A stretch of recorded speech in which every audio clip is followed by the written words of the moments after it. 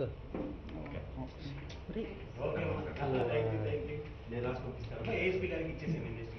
మీకు ఏ డౌట్ ఉన్నా మళ్ళా నాకు కాల్ చేయండి ఏం ప్రాబ్లం రైట్ అండి టేక్ కేర్ నమస్తే నమస్తే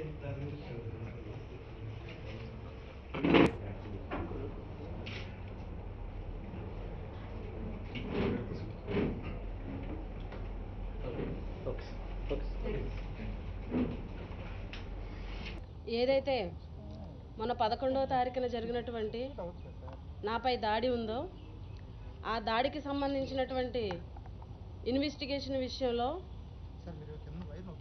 SC ST cell DSP Paparao గారు ఎవరైతే ఉన్నారో ఆయనను ఆయన నాతో మాట్లాడినటువంటి బాధ్యతారాహిత్యమైనటువంటి వ్యాఖ్యలకి నేను ఈరోజు నొచ్చుకొని నాకు ఆ ఇన్వెస్టిగేషన్ వల్ల ఆ ఆఫీసర్ వల్ల నాకు న్యాయం జరగదని నేను భావించి ఈరోజు డిఐజీ పాలరాజు గారిని ఎస్పీ గారిని కూడాను ఈరోజు కలవడం జరిగింది. ఏప్రిల్ పదకొండవ తారీఖున తెలుగుదేశం నాయకులు కార్యకర్తలు ఎవరైతే ఉన్నారో Chenukuduma booth number one fifty టూలో రిగ్గింగ్ జరుగుతుందని నాకు సమాచారం రావడంతో అక్కడ ఉన్నటువంటి పీఓ తోటి ఇక్కడ రిగ్గింగ్ జరుగుతుందని కంప్లైంట్ ఇవ్వడం కోసం నేను వెళ్ళినటువంటి సందర్భంలో అక్కడ ఉన్నటువంటి జడ్పీడీసీ భర్త అయినటువంటి డొంకాడ రామకృష్ణ ఆయన మనుషులు అదేవిధంగా విజయరామరాజు గారి ఆధ్వర్యంలో ఆ రోజు నా మీద తీవ్రమైనటువంటి దాడి జరగడం జరిగింది. ఒక గిరిజన మహిళా ఎమ్మెల్యేను కూడా నన్ను చూడకుండా తీవ్రంగా గాయపరిచి వాళ్ళ ఎవరైతే ఉన్నారో వాళ్ళ కార్యకర్తలు వాళ్ళ మనుషులతోటి నన్ను చంపించేటువంటి ప్రయత్నం చేయడం జరిగింది.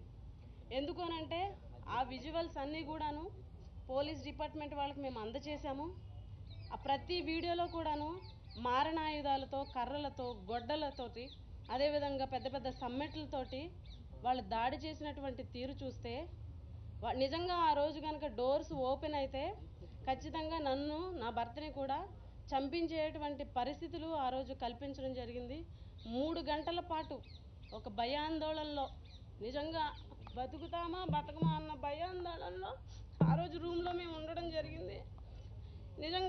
గంటల పాటు నిర్బంధించి కరెంటు తీసి చిత్రహింసలు బయట నుంచి రాళ్ళతోటి సుత్తులతోటి కొట్టి ఇంక మేమైతే డిసైడ్ అయిపోయాం.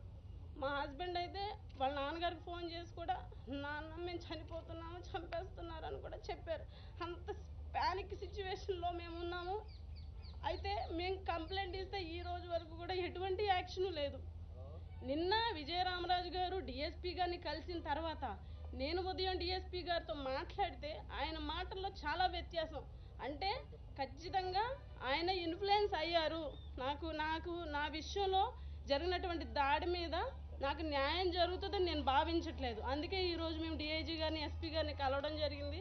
ఒక ఎమ్మెల్యేకి అది కూడా ఒక మహిళా ఎమ్మెల్యేకే ఈరోజు భద్రత లేదు అని అంటే సామాన్యులు ఈరోజు ఏ రకంగా ఈరోజు ఉండాలన్నది ఒక్కసారి గమనించాల్సినటువంటి అవసరం ఉంది. మేము ఒకటే డిమాండ్ చేసాము ఈ కేసులో న్యాయం జరగాలి.